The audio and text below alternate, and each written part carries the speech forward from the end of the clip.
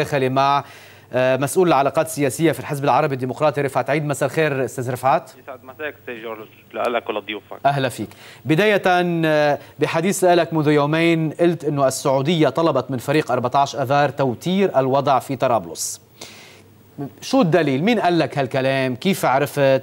يعني في الواحد يلقي التهم شمال ويمين بس إذا ما في برهان كيف بده الواحد يصدق 100% هذا الكلام؟ كثير منيح. خليني بس أستاذ جورج قبل ما أجاوب على سؤالك أنا رح اعمل مقاربه صغيرة. بس لو سمحت المقاربات باختصار. هلا بدك تعطيني وقتي. يعني أكيد بدي أعطيك وقتك. لو ما بدي اعطيك لو ما بدي أعطيك وقتك ما كنت تمنيت عليك تشارك بهالحلقة. تفضل. يعني على ما يبدو يعني الأمور عم تتصغر كثير بموضوع طرابلس وعم تنعطى حدود جبل محسن والتباني. وهذا الموضوع أنا بأكد لك هو عاري عن الصحة جملة وتفصيلا. وأنا طالع هون لروق لروق العالم بطرابلس وبجبل محسن وبالتبانة. وما رح أعتبر هذا موضوع نقطة ضعف رح أعتبره نقطة قوة.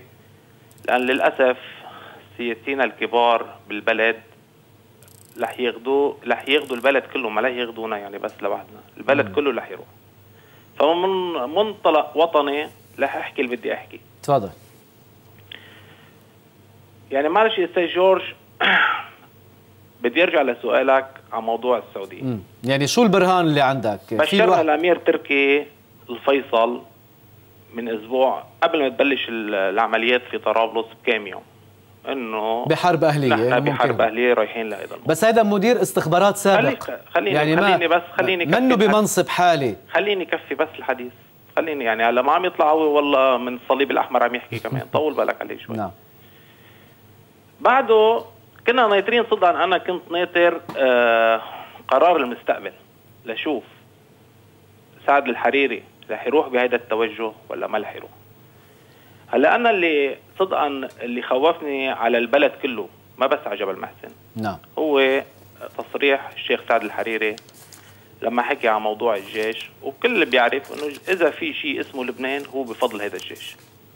مع انه في عندي تعليقات كثير على الجيش ولا أقول لك إياها كلياتها. فلما طلع هذا التصريح صدقا آه نحن من 48 ساعة وهذا الموضوع تسرب لكل الاعلاميين ولكل الناس. نعم. أعطينا أمر لكل عناصر الحزب. ممنوع منعا باتا. حدا يلبس بوت عسكري. بوت. هلا ضل في بعض العناصر الغير المنضبطة. منها تابعة للحزب. نعم.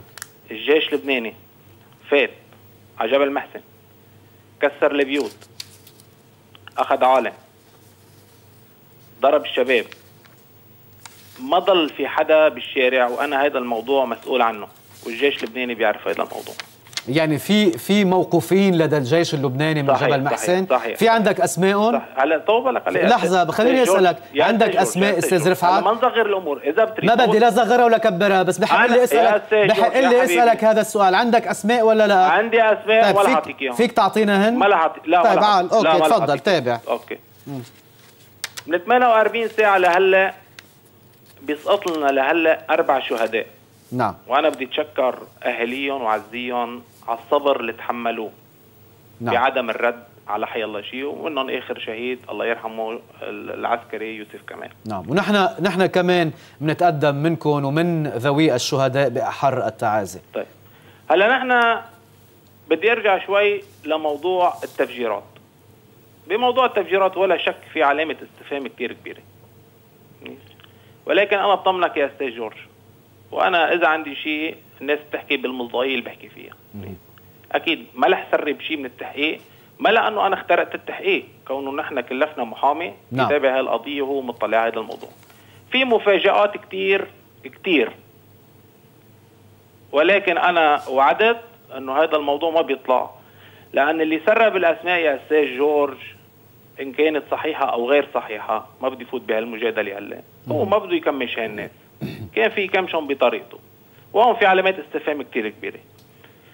الجيش اللبناني يا أستاذ جورج هلأ حاليا فوج المغاوير فات على جبل المحسن كله. هو فات اللواء 12 موجود بقلب جبل المحسن. نعم. وإذا بدك ما في محل تصف سيارتك من كثر الملالات بجبل المحسن. فات وأخذ مواقع قتالية قلت لك فات كسر وشال وحط وعمل وكل هالقصص هيدي. طيب بس بدنا نسأل سؤال هون. سؤال برسم المعنيين. اللي هو؟ اللي هو؟ الجيش فات على الضاحية. هلا بيقولوا مع ديل مع حزب الله بلا ديل مع حزب الله ما بيهمني هذا الموضوع. م. ليش ممنوع يا أستاذ جورج الجيش يفوت على باب التبانة ويكون بديل من تيار المستقبل؟ أها. ليش؟ هيدا هيدا السؤال هيدا السؤال هيدا السؤال برسم من تضعه؟ برسم برسم برسم, برسم قيادة الجيش برسم الدولة برسم تيار المستقبل برسم مين؟ أنا رح أضعه برسم فخامة رئيس الجمهورية. بالاجتماع الأمني اللي صار. اتخذت إجراءات وتبلغنا فيها إنه الجيش سيضرب بيد من حديد أو الخطة الحديدية اللي سموها هي. مين فشل الخطة الحديدية يا أستاذ جورج؟ بأحد الاجتماعات تسرب إنه الجيش كان بده يفوت. مثل ما بده يفوت على جبل محسن. بده يفوت على التبانة. بده يفوت على باب التبانة. تجي الاتصالات. منيح؟ من السعودية؟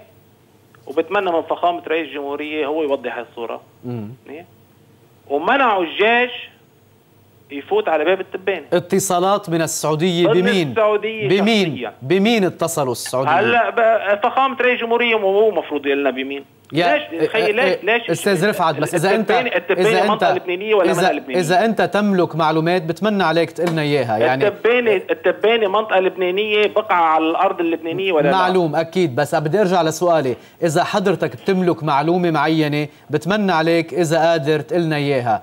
آه، بمين اتصلوا؟ ومين تحديدا؟ يعني القيادة السعودية اتصلت بمين؟ خيي عم أقول لك هذا الموضوع فخامة رئيس جمهور جمهورية هو يرد على هذا الموضوع. أنا هلأ ماني قادر إني أتصل. ليش هلا هلأ ماني قادر إني أتصل بفخامة الرئيس. فيك تتصل فين فيك. هلا هلأ حضرتك معي. بدي إذا أنت عندك هالمعلومة تقول لي اياها طب ليش؟ بدي أسألك أنت. أنت مطلع.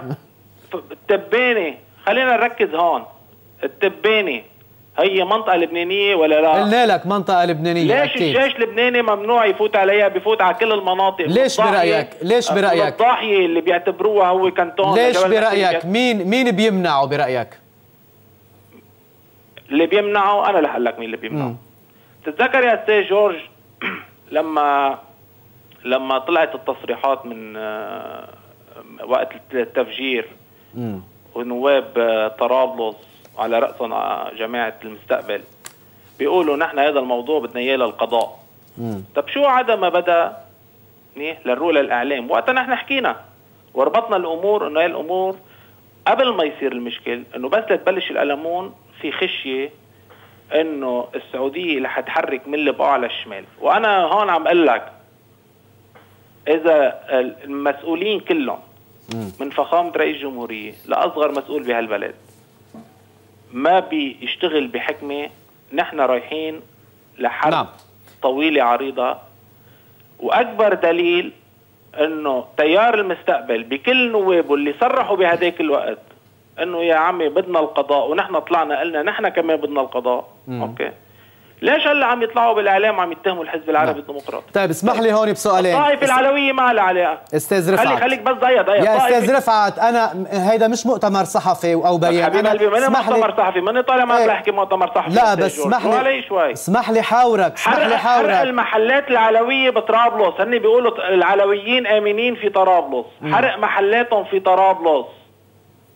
هيدا للحزب العربي الديمقراطي. امم أستاذ رفعت لما بيكون في آه، معلومات تقول لما بيكون في اقتناع عن طرف معين إنه آه، تفجيري مسجدي السلام والتقوى في طرابلس مسؤول عنهم آه، ناس من جبل محسن أو من الحزب العربي الديمقراطي. وحتى في البعض يقول إنه في أدلة دامغة وبراهين لا تقبل الشك وفي اعترافات وإلى ما هنالك مثل ما عم نسمع.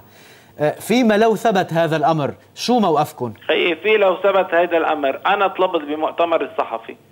انه اذا بيطلع للحزب العربي الديمقراطي أي أساس بهذا الموضوع تمنيت من وزير الداخلية حل الحزب وسوقنا كلياتنا للعدالة من الحديث إيه؟ ولكن بالمقابل مم. يا أستاذ جورج وقتها قلت ولح أرجع عيدها إذا طلع هذا الشاب يوسف دياب بريء ما مفروض فرع الفتنة اللي هو فرع المعلومات ينحل مم. مع سؤال ينسأل ولا لا؟ ما هو المسؤول عن هذا اللي صار؟ نعم. أه أستاذ رفعت كمان في يعني آه، الاجتماع اللي عقد بمنزل الشيخ سالم الرافعي طالبوا فيه المجتمعين بحل الحزب العربي الديمقراطي ومحاكمة المسؤولين فيه كمان فعاليات باب التبانه دعا الجيش إلى توقيف المجرمين كما قالوا امثال رفعت عيد نحن معهم. نحن معهم. نحن معهم. إيه قالوا أمثال رفعت عيد يعني سموا اسمك. إذا أنا مجرم يوقفوني ما في مشكلة ما عندي مشكلة. شو نعم. بدك أكثر من هيك يعني؟ طيب. أنا طالع جورج حبيب قلبي. نعم. الوضع بطرابلس صدقني رايحين كلياتنا فايتين رايحين لمحل المجهول. هيدا المجهول تأكد. جبل محسن إذا دفع ثمن كل المدينة أو كل الشمال وكل لبنان رح يدفع ثمن نعم. وعم بحكي أنا هون تأكد. من موقف كتير قوي وبعرف حالي كتير منيح شو عم بحكي. نعم. نحن المنطقة كلياتها على كف عفريت خلينا نتقي الله كلياتنا. حاجة نحمل شمال لبنان دم هو بغنى عنه وما حدا بده إياه. نحن لهلأ لهلأ وحياتك برا قذائف ورصاص وبعده ماشي على جبل محسن قلنا من 48 ساعة لهلأ. نعم. هلأ بالوقت الحاضر. من الجيش اللبناني هلأ يطلع تصريح إذا أنا في في عم بحكي كلمة ما مضبوطة. إذا عم يطلع طلقة واحدة من جبل محسن من نعم. 48 ساعة لهلأ. ولا طلقة واحدة. وتأكد لا خوفا ولا جبنا. انما إنما, إنما محاولة للتهدئة. كله. نعم. واللي بيخاف على البلد كله هو خايف على جبل محسن نعم. أنا بدي أشكرك مسؤول العلاقات السياسية في الحزب العربي الديمقراطي الأستاذ رفعت عيد على هذه المداخلة. شكرا لك.